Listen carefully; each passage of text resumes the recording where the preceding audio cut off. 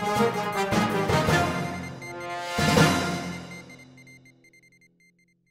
I'm Larry Stewart. I'm editor with For Construction Pros in the John Deere booth at ConExpo ConAg 2011, looking at what is uh, uh, turning out to be a, a pretty routine uh, announcement made uh, these days in the construction equipment world. A hybrid wheel loader, but this one's different. This is the Deere 944K uh, a whole new size class for Deere. I'm with John Chesterman. He's the product marketing manager for wheel loaders for John Deere, and he's going to tell us about how this system works because it is different from what we've seen before and what it means to contractors. John? Yeah, this this first off, Larry, this loader is our largest loader that Deere's ever produced. It is it's meant for quarry applications at the pit face, primarily loading trucks that are going to be feeding crushing operations, so the production size of the quarry.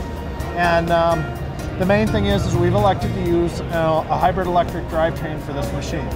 We're planning on, uh, our, our, target is to have this machine available in 2013, but we have to make sure it's ready for customers, and that's a key thing for this market.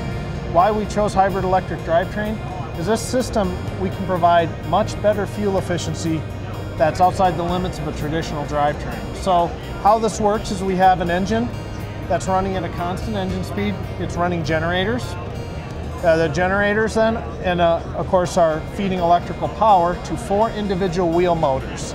So this has wheel motors basically inside of each tire and there's uh, planetary drives. But what that allows us to do is individually feed the power to each wheel. We can also control traction. So if a wheel would get loose, we can control it and make sure it doesn't spin too fast, which is going to save the customers a bunch of tire wear. Okay. Now, which was one of your criteria, if I understand correct, from customers were saying cut down our tire wear. Yeah, right? cut down the tire wear because you got to think these machines they work really hard to get into a pit face to dig the rock away, uh, shot shot rock. And the thing is, this tire wear is a big expense for our customers.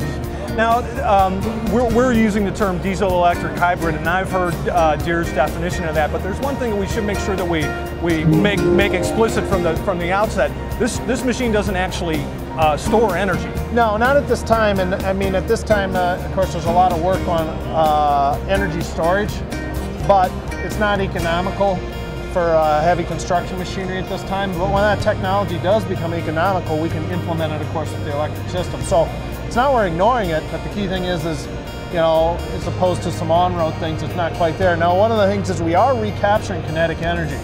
Loaders do a lot of cycling. They go back and forth. And what's right. the operator do when he wants to reverse? He steps on the brakes. And when he steps on the brakes, he's just sending energy directly into heat in the axles. Well, the point is, is of course, with this system, when someone starts stepping on the brakes, of course, we are electrically dynamically braking. Well, that's going into the system. It's keeping the engine speed up. A lot of times if a guy's backing away from a face, he's gonna feed a truck. Well, he's gonna be raising the boom at the same time. So there's work being done by the machine so we can capture some of that energy. So there's where some of the fuel savings are coming from outside of the, the efficiency of the electric drive system. I see. So eh, obviously in a, in a normal app, like a conventional application, while when he's raising that boom up, he could be lugging that engine down.